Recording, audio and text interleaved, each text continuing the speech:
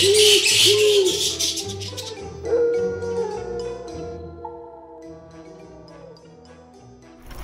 you think religion still has a role to play in Halloween at all?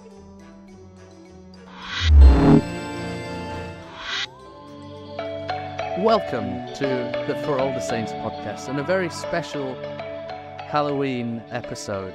My very special guest today is Lisa Morton. And Lisa, it's so great to have you. Oh, thanks, Ben. It's fun to be here.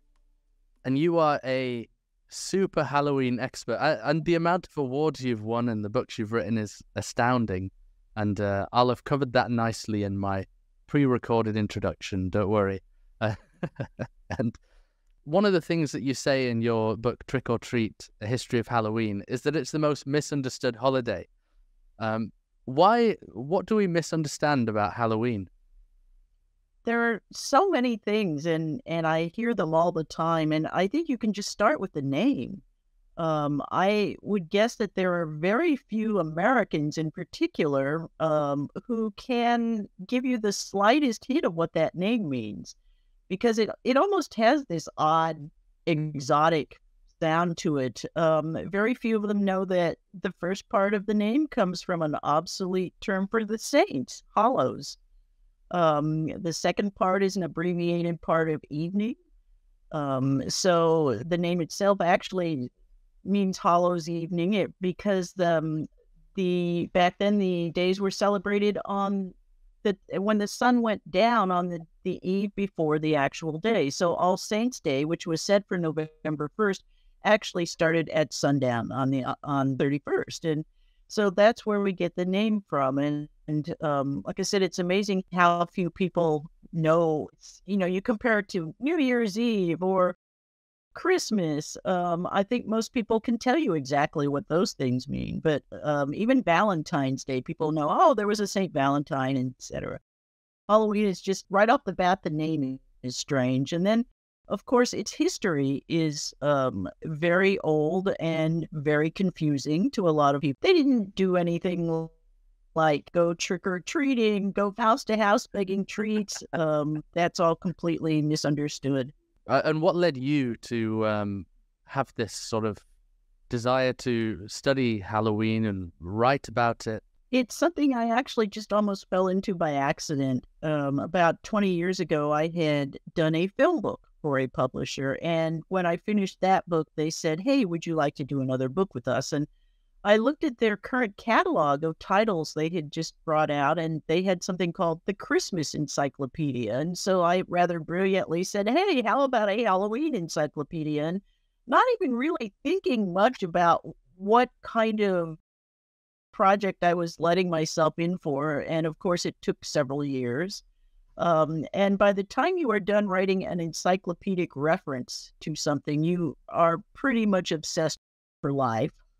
so, um, also, it was very easy to take the massive amount of information that I accrued putting that book together and roll it over into other books. Right, I see, and I see you've still got the uh, you've got some Halloween masks up uh, on your background there with uh, Frankenstein and uh, yeah. Those are two empty masks. The entire wall behind me is Halloween themed art, which is one of the things I love to collect. Right. Yeah, that's brilliant. I love it. And uh, what is the true history of Halloween then? Because I, I know when I read your books and uh, when you write about it and when you've been on other podcasts as well, there's sort of this there there's academic thought which uh, seems inaccurate in some ways. There's other thought. There's as you mentioned Celtic tribes involved. What actually is the true history, the true origin? There are two two schools of thought on that. Um, I fall into the school that thinks that it definitely descends from the Celtic celebration of Samhain the other side thinks that it is almost completely Catholic in origin, that it stems from the original celebrations of All Saints' Day. To me, it definitely gets its macabre side from Samhain. Um, there was not a lot that was incredibly macabre about celebrating the lives of saints. But Samhain, on the other hand, was definitely a spooky time for the ancient Celts. It was their New Year's celebration. The name itself, which looks like it should be pronounced Samhain, um, was a time when they brought all the cattle in from the fields, when they hunkered down for a long winter. Um, it was uh, the name does mean summer's end. And it was a time when they thought the veil between worlds was at its thinnest because it was such a liminal time. They were moving into this cold part of the year and um, changing the way they lived, in essence, for the next few months. So they thought it was a night when this veil was down, when things could cross over. They believed in these incredibly malicious creatures called the Sidhe, which nowadays we would call fairies. But the fairies are as far away from a Disney Tinkerbell as you can get. These were things that would come over on Samhain and would burn down their palaces, would bring corpses to life, would kidnap humans and take them back to their other world with them. Um, they were very malicious, and we do have a number of really incredible Samhain tales that the early Catholic missionaries to Ireland recorded. And some of these things are still very frightening. Uh, there's there's one I think my favorite one is about a hero named uh, who gets sent out to um, by the king on Samhain Eve, and, and he's given this assignment. And he's the assignment is, well, you have to go and put a loop around the foot of this corpse that's been hung. No one else has been able to do this. If you do it, I'll give you this this magic sword. And so this hero goes out, and he is successful in putting this loop around the foot of this corpse. And when he does, the corpse comes to life which is already pretty scary. But this gets scarier. It says to him, I'm thirsty. I died hung up here and I'd like a drink. Can you to a house to get a drink? And so he leads this corpse to this house where the kind people in the house give this corpse a drink and it spits it in their faces and kills. I mean, this is this is totally horror movie stuff. And I think there is no question that this is where uh, Halloween acquired its guide from. Yeah. Is this um when you say the the creatures were called she? was it? A she? It is spelled S I D H traditionally, but it is also you can hear that that little tiny root in the uh, creature banshee. Banshee actually means a female fairy, and the oh, banshee right. is one of the the other things that has come down from that early Celtic belief. And what did they think this? Uh, you said it was like a fairy, um, but were there any sort of depictions made of what they believed a, a Sidhe to look like? I have never seen one, and I, I would certainly love to see one. Um, I think from the way they seem to be described in some of the, the legends and the fairy tales and so forth, they they don't seem to have been small by any means. They were, I think, probably just very human, and life sized.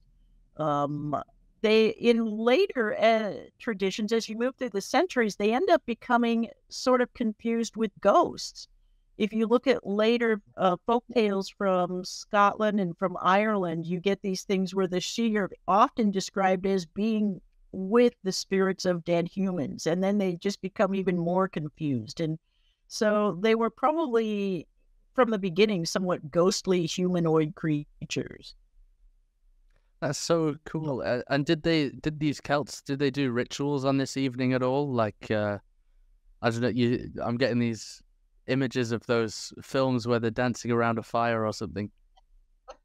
That is a popular popularized misconception, I think. That kind of stems from the way that uh, historians in the 19th century had a habit of exoticizing everything. And um, I have a number of the original etchings from the 19th century that show Celts dancing around a fire, and the caption will read something like "Wild orgies of the Druids." And um, yeah. The truth is, we don't know a lot about how they celebrated because they didn't leave a written history. But what we know comes from the Catholic missionaries. And we do know that it was a party for them. They celebrated apparently for three days um, wow. because it just brought everything in from the fields. They had a lot of fresh meat. Um, they told They saw each other at the time. They also did a lot of boring administrative duties because it was the end of the year. They collected taxes, they paid off debts, that kind of thing. But they also engaged in this big party. And there is some archaeological evidence to suggest that they may have had certain rituals like um, a yearly sacrifice to ensure that their livestock and so forth would be good in the coming year.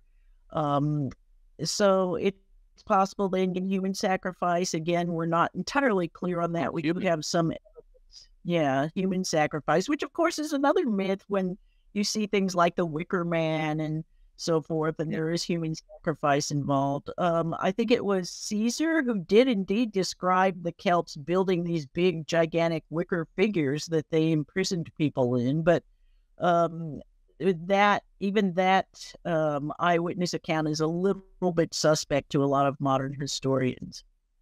Right. So it sounds like even though it was very macabre and quite dark and a, a heavy sort of cautionary tale kind of you know that sort of darkness of it that there was still a lot of celebrating in it and it was still quite a sort of joyful amidst weirdly joyful amidst all of that yeah, exactly. Which, you know, is not that dissimilar to some of the things we do now. Yeah, I suppose when you look at it, when you put a magnifying glass on Halloween, it is quite, uh, you know, there are some very dark. Uh, well, I have a list actually of, of a few popular items that we'll see in Halloween, and I just wonder if one by there's only three of them, but if one by one we could sort of see how on earth they got introduced. So the first one being uh, pumpkins.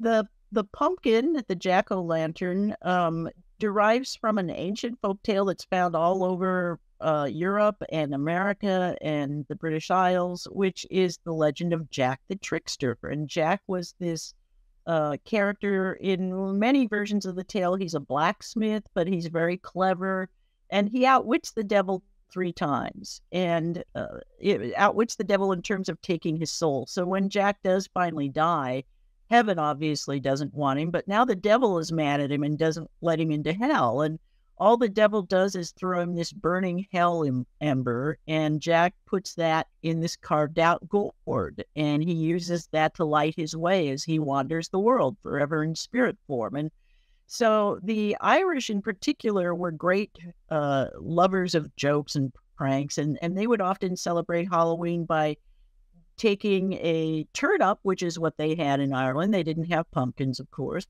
and carving a, a sort of spooky looking face in it. And they would put a candle inside and put that out somewhere on Halloween night when an unwary traveler might turn a corner and abruptly see this glowing face and um, equate it with the, the stories of Jack the Trickster. And uh, when the Irish and the Scottish came to America, mainly in the 1840s, because they were escaping famine, they brought these pranks with them. And of course, as soon as they saw those gorgeous pumpkins in the New World, um, those became the uh, replacement for the, the turnips and so forth. And it's not really, though, until about the 1890s, the end of that century, that you get this glowing pumpkin kind of enshrined as the king of Halloween symbols.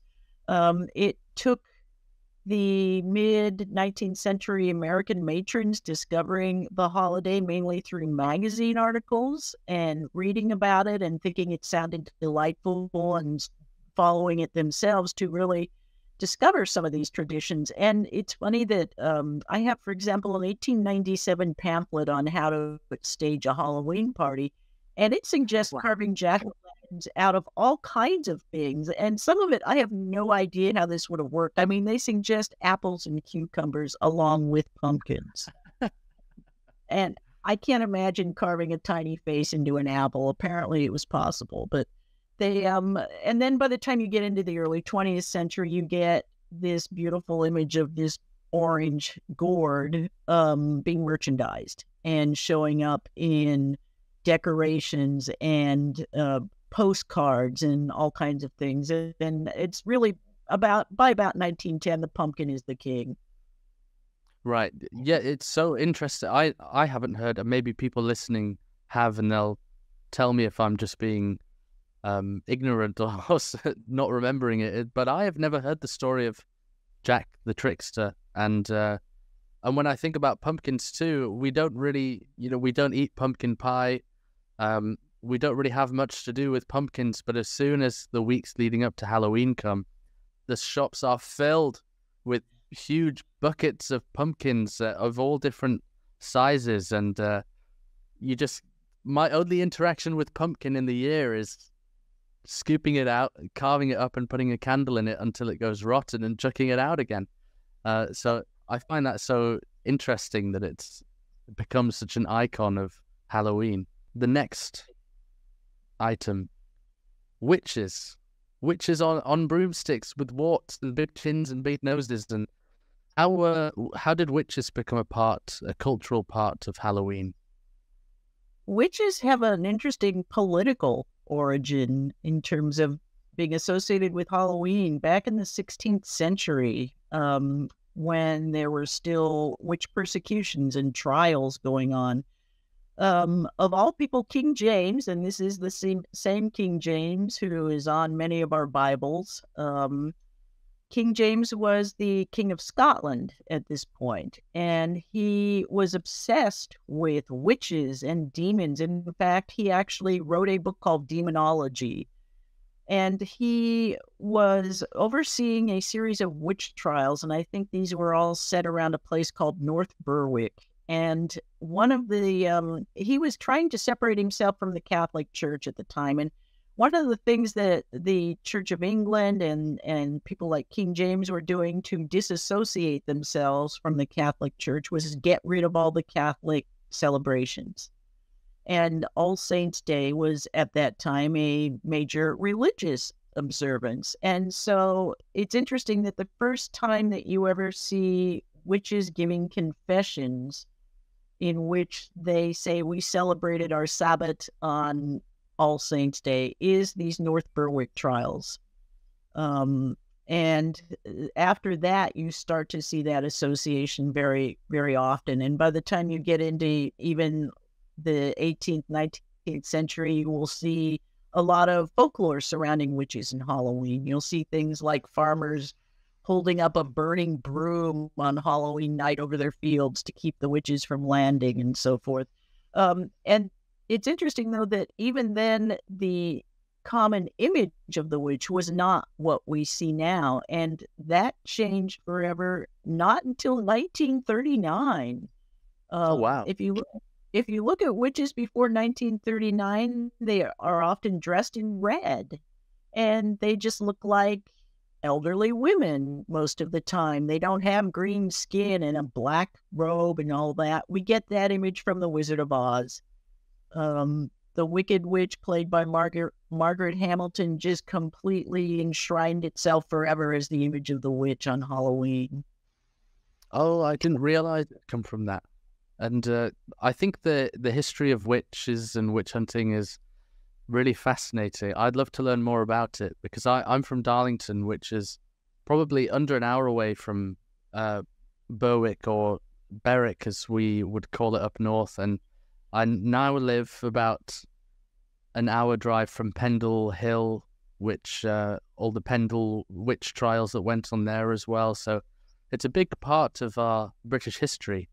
Um, but then I'll, I'll move on to the third and final aspect that I um, wondered about, which is trick or treat, because it seems seems completely like uh, detached from from the other aspects and not very macabre either. Or maybe it is macabre. I don't know. How did trick or treat come into play in Halloween?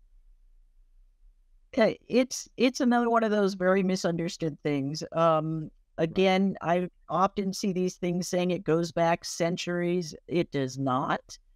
Um, there were some similar things that people did on All Souls Day, which is celebrated on November 2nd and kind of spilled over a little bit um, All Souls Day, they was about um, praying for the souls of your loved ones who might be trapped in purgatory. And so there was a tradition that sprang up called souling. And souling was this idea where uh, originally beggars would go from house to house and they would offer to say prayers for your loved ones in exchange for food. And the food became ritualized. It became these special little cakes that were baked just for that purpose. And then children started painting themselves up as beggars and going from house to house to get these little soul cakes. And although it's tempting to draw a direct line between that and trick or treat, the truth is there is not one. Um, trick or treat comes about in mainly the 1930s, and it was a response to the way Halloween was being celebrated up until then, which was by prank playing in America, um, the boys had taken on this Irish tra- tradition of playing pranks and jokes on Halloween. And originally it was all kind of innocent. If you look, for example, at postcards from 1915, 1920, they often show boys playing pranks. And the pranks were typically things like they would disassemble a gate and move it to the roof of the barn or something crazy like that. Um, this this was so common that it actually was called gate night in a lot of places.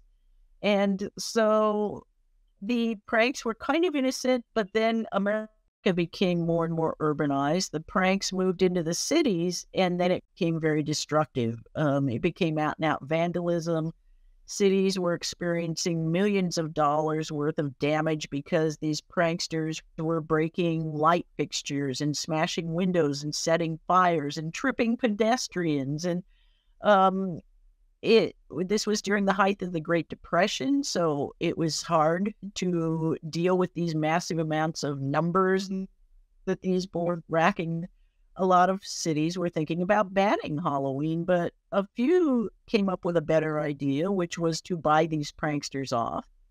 And, you can actually find little pamphlets from the mid 30s that were put out in some of the cities that were guides sent to homeowners saying, here's how you can do this on Halloween night and entertain these kids and keep them from playing pranks. And because it was the Depression, they would suggest that a number of houses get together to bear the weight of giving these kids a party. So the first house would give the kids a simple costume, like just a sheet to be a ghost or some leftover clothes from the attic. The next house would give them a little game. The next house might give them a little primitive version of a haunted attraction in the basement. And then a house would give them treats. And this caught on gigantically. Um, it was very successful. It worked in buying the kids off. And then it's not until 1939 that we get the first mention of the phrase trick or treat in, in a national American magazine. So from that point on is really kind of when we reckon the start of trick or treat, even though it had been around in other parts of the country for about 10 years at that point. Right. And uh, these aspects that we're discussing, they're very sort of uh, British and American. And I know we America seems to celebrate it a lot bigger than we do over here in the UK. And uh, as I as I mentioned, a lot of the folklore I have no idea about, and uh, I, the name of Halloween. It's it's one of those things that just it's the thing that happens before Christmas. The the the festivity before Christmas and it's getting darker on the nights. Um, but are there are there big differences about how other cultures celebrate Halloween? Are, are there different alternatives of there? I d- I don't even know if many other cultures do celebrate Halloween. Well, one of the interesting things things that has happened with this this holiday over the last just 15 years, this is really quite, quite recent, is how it has been exported from America around the world. Um, uh, when I first wrote the, the encyclopedia, which was uh, circa 2000, 2001, um, there was very little to report globally. It was almost completely an American celebration. And by the time I got around to doing my book, Trick or Treat, A History of Halloween in 2012, just in that 10 or 11 year span, it had exploded around the world. Um, and there are some interesting reasons for that export, um, which are kind of surprising. Sitcoms, American syndicated sitcoms, are beloved around the world, and every major sitcom had Halloween episodes, uh, especially The Simpsons, one of the most successful syndicated shows in history, which does a yearly Treehouse of Horror Halloween episode. Uh, the sitcom Roseanne was obsessed with Halloween and would show these these elaborate Halloween celebrations that the family in that show engaged in. And people loved the holiday when they saw it in their favorite shows all over the world. And then another thing that happens is marketing and retailing. So you get companies like McDonald's coming in with their Halloween Happy Meals, and um, people again are now getting exposed to this holiday. And and it's hard to turn it down. I mean, who doesn't love dressing their kid up in a cute costume and the beautiful orange colors and the um, the, the candy and the whole thing. It just really has caught on throughout much of the northern hemisphere in particular. It's a little harder in the southern hemisphere because the seasons are reversed. So it doesn't have all of the sort of fall and autumn associations in, say, Australia that is now catching on gigantically in Australia as well. Right. I, I um I just, as you were speaking, remembered when I was in Malaysia, in this small, uh, I think it's a city in East Malaysia, so in Borneo, Kota Kinabalu, and I was there during Halloween, and even they in this small, uh, small church we were at had a Halloween party, and it it was very different to the Halloween parties that uh, I had when I was um, in England, but still, everyone dressed up still and we had games. Uh, I think I dressed up as Mr. Bean. I thought that would be funny because I was British. Um, but yeah, it's so it is so interesting to think that it it's because of that sort of retailing of it and the the merchandising of it. I mean, does do you think religion still has a role to play in Halloween at all? Not much, and and the church kind of saw to that um, they removed a lot of the sort of observances and special masses and so forth that went with it. I think back in the fifties, um, it used to have an octave, which is you know like an eight day religious observance that was removed. I think in something like fifty five. So it is still a celebration within the Catholic Church, but it's a sort of minor one now. Is that where the name comes from, Halloween, in terms of All Hallows Eve? Is that sort of all Saints Day, sort of same thing. Exactly. Yeah. And it's interesting that up until about 1940, the name even still had the apostrophe in it in the, between the two E's, indicating that the V had been dropped. So um, by about 1940 on, onwards, the, the apostrophe went away and it just became the name we know now. Yeah, it's quite a strange name, really, as Halloween when you look at the word. It is quite strange. And um, if today this is this is a strange question that I'm going to ask. If today's Halloween, as we know it, that that is quite modern and uh, commercial, and you see people putting on uh, massive like haunted houses and things like that. If it wasn't commercialized, and if it if it hadn't had that sort of overtaking of retail and things, what do you think Halloween would look like today?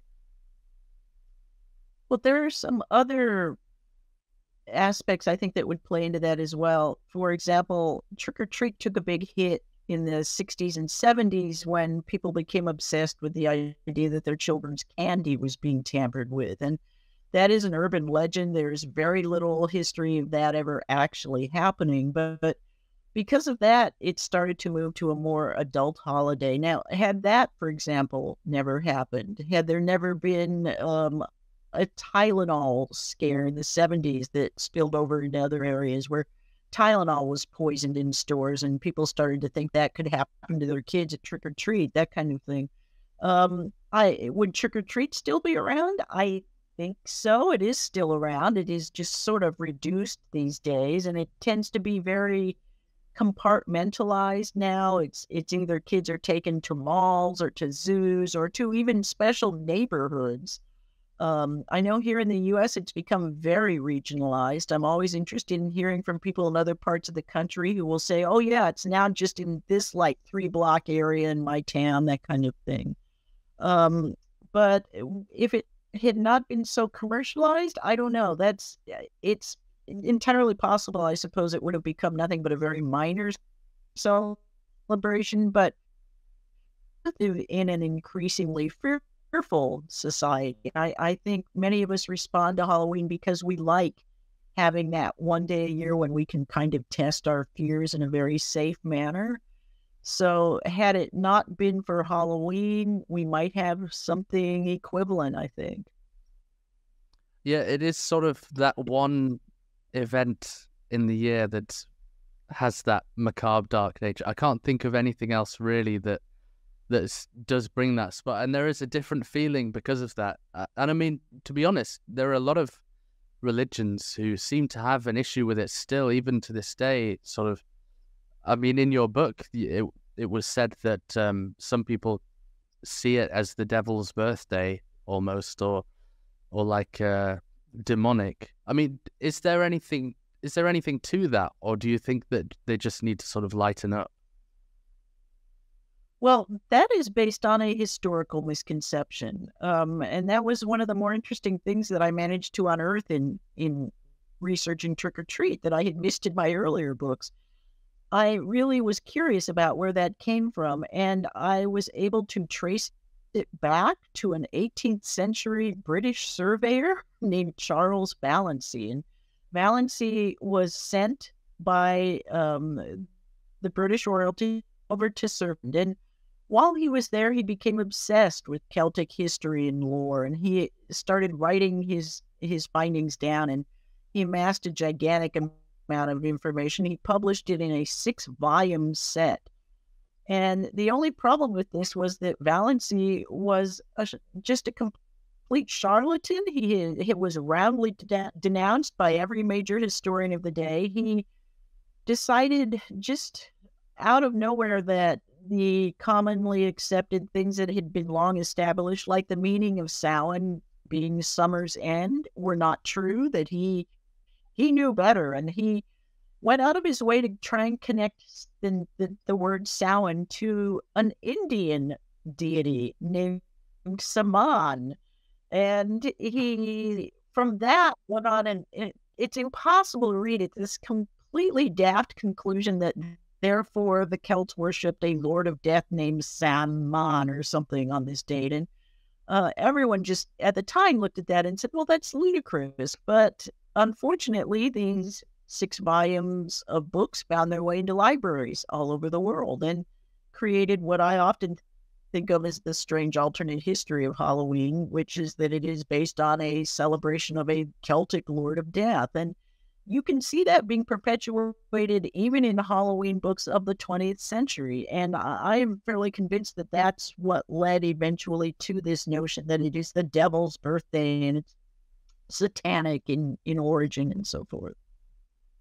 I suppose as well, there is this link now with even when you're not doing the sort of horror stuff and it's more about the pumpkins and the it's got an autumnal feel about it and you're you're sort of having the darker nights, there is also this link of we seem to associate it with horror films and the horror genre. And, you know, much to my dislike, I'll say, um, me and my wife on Halloween will watch a horror film in the evening. And I just, I can't stomach horror films. But she makes the watch it. And obviously, a lot of horror films have that sort of demonic, satanic um, edge to them, a, lot of the. Uh, and they're really far out uh, many of the satanic ones, but still there is that link. Um, and you have written a absolute ton of horror short stories. Uh, I was looking through the list uh, while I was preparing, and I was like, "Oh my goodness, how how do you come up with the ideas for these stories?"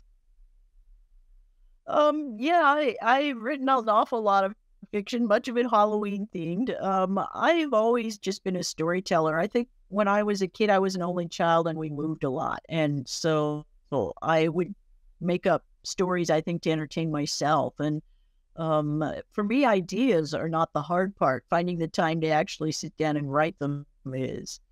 So yeah, the, the ideas for me are everywhere. I can look out my, my window in my office right now and get five ideas in a few minutes. So um, and uh, I have been very fortunate to reach a point in my fiction career where I'm somewhat in demand. And so a lot of the stories that I write are to a particular theme. Oh, I'm editing an anthology based on Shakespeare, can you give me a story for that? Um, so quite often the idea is somewhat dictated by but what you're being hired to to present. Right. That that's so fun though to be able to. I really admire that because uh, the idea stuff is just it blows my mind. And when you read some horror fiction, you you're thinking there, and some of them when they're really out there, um, you read them and you're like, how did they think of this? How did they come up with this? As you as you're being freaked out, that is. Uh, have you ever written a story that is just you've been writing it and it's just been so spooky like that it's freaked you out a bit? There was one that that freaked me out a bit, and it was a Halloween themed novella called Summer's End, and I wanted to do something very challenging with that, which was um, to make myself the main character. And I knew that was going to be difficult when I started it. Um, for me, there was there had to be a sort of dividing line between the author and this main character, and it was it was a difficult write, uh, write but uh, um, it did that one. Yeah, that one bothered me to ride for I think obvious reasons. Yeah, and what would you say was the the spookiest story that you've written? Um, I I kind of want to leave that to readers to discover. Okay. Um, I have written so many, it would be hard for me to, to pick one. I am probably at about 200 short stories right now and four novels and probably, what, half a dozen novellas. So there's so much, I'm not sure I would have one that I pick as a favorite. I have probably four or five that would fall into my overall favorites category. Right. Do you have a favorite horror film I do, which is The Exorcist. Um, I saw The Exorcist when I was 15, and it was still in its original release, and it was a humongous hit. And um, seeing that film in a theater in 1974, when you were very young, was an absolute mind blowing experience. And for me, it was not even so much about the film, but about how pe- people reacted to it. Um, you it's hard now to explain to people who were not there because there has not been a film like that since but people eh, people were absolutely terrified by that film. They screamed they ran out of the theater. People were passing out. I mean it was insane. I remember just sitting in that theater in 1974 and actually even at, at some points turning around looking behind me just to watch people and thinking this is what i want to do um, I want to have this kind of impact on people. So that was the film that kind of changed the destination of my life. Right. Uh, that's so interesting. I, I didn't know it had that reaction. Was that like the first sort of big horror film? It was. Um, I mean, there had been Rosemary's Baby before that. Um, but yeah, nothing nothing before had had that kind of impact on people unless you I mean, I've heard that the original Frankenstein in the 30s impacted people that way, but I certainly haven't seen it since. Um, I don't know if it's even still possible to affect people that deeply. And and it was interesting at the time. Um, news uh, magazine covers were would have stories called "The Exorcist Frenzy," and you would go into i remember a couple weeks after the movie had been released we were um, out at a restaurant and our waitress looked very ill and we were concerned for her and we said hey are you okay and she said oh i'm okay i just haven't slept in two weeks since i saw that movie I, it was just uh, the impact of this thing across the entire society was just insane. Right. And do you, what do you think about the current state of horror films because they seem to really just push them out now and they I, I don't know what do you think about them? I to me there are still some great ones being made. Um one of the interesting changes over the last couple of decades has been how much of it has moved to television. Um I almost think the best horror is now being done on television um there is a French series that's streamed on Netflix called Marianne, which is one of the absolute best things I've ever seen in horror. Um, it, It is incredible. I think it's eight episodes. I've watched it three times. Many of my horror writing friends have watched it over and over, and, and very few people know about it. So if you have Netflix, I highly recommend Marianne. Be prepared to be really scared. It's very frightening and really good. Um, but yeah, there sometimes I have older friends who will say, "Oh, there's no good horror being made," and and to me, I think one of the things that our memories tend to do is we forget the crap we saw thirty or forty years ago and just remember the really good ones. I mean, there's always been a glut of bad films being made, and we don't think about those after a while. And and there are still things being made now that I think we will still be talking about in another thirty years. Right, I've written that down. Marianne on Netflix, and, watch uh, it subtitled. Dub. Watch it subtitled. Yeah. Oh, I can't stand dubbed.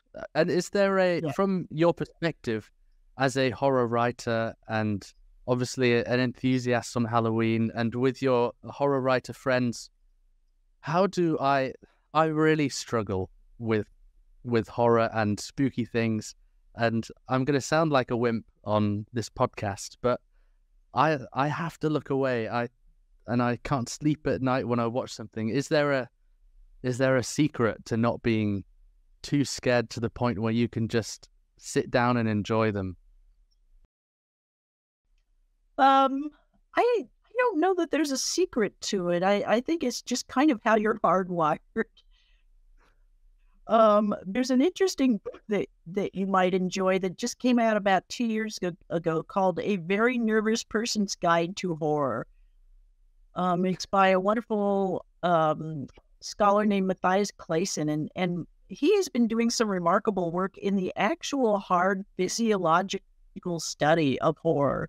Um, he's really interesting. He has charted how our brains eh, respond to these things and how certain um, upbringings or certain characteristics tie into the physiological responses. And that actually might help you at least understand why horror affects you differently than it affects other people.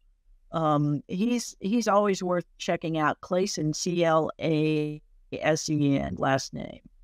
I've written that down as well. I, have got some good takeaways from today, and thinking of sort of uh, to wrap this special Halloween episode up. Uh, I was thinking if you could give us any tips for throwing a a really authentic um, Halloween celebration. Oh, a really authentic. If I was, I always had this fantasy of throwing a traditional 18th century Halloween party, and I have not done it yet. But um, if I were going to, I would have lots of fun little fortune telling games around. This is how they celebrated Halloween in the 18th century. We know this primarily from the poet Robert Burns wrote a very long poem called Halloween, which is a description of a Scottish Halloween party. And when you read the poem, it sounds so fun. Um, it's this gathering of people who would play these games like setting nuts in front of a fireplace and you name the nuts for different people that you would like to be involved with. And depending on which nut cracks first, might be the person you're going to end up marrying, or um, playing games involving bobbing for apples or jumping over these uh, candles blindfolded. I mean, there were all kinds of fun games that were played. And they told ghost stories and they they drank and they ate very particular special foods for that time of year and um, it sounds really fun. So if I was going to do a traditional Halloween party, I would probably go out and read the Robert Burns poem and try to follow the model. That's brilliant. I, I'm going to accept the challenge, and after hearing this, I'm going to throw a traditional Halloween party. I'm, you know, we I've had a lot of trunk and treats uh, over here. Every year, it's we decorate the boot of the. It should be boot and treat for the UK. We never call them trunks, but we still call them trunk or treat. We decorate the boot of the car, and we go around and pick them. We we have a fancy dress costume, a pumpkin costume.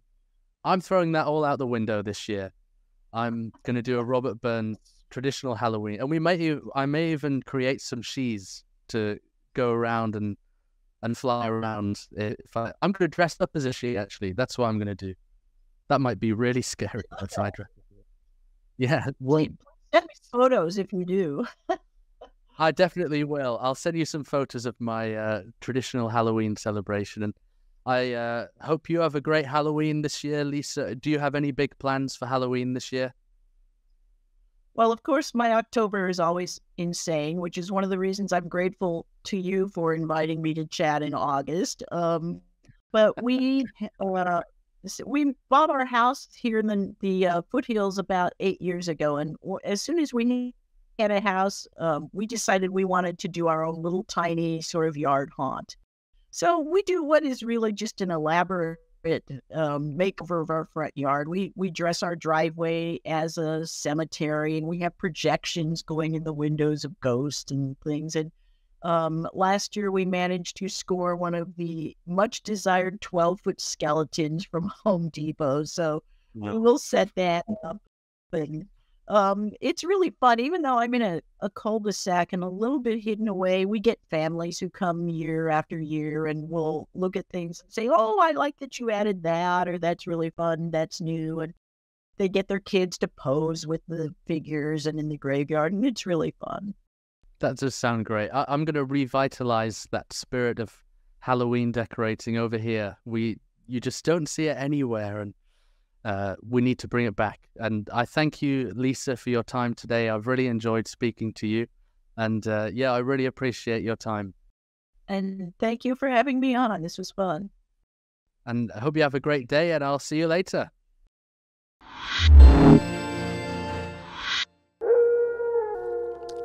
Thanks for watching For All the Saints. This show needs your help to grow. Please like the video, comment your thoughts, subscribe to the channel, and share this with someone you think would enjoy it. Thank you.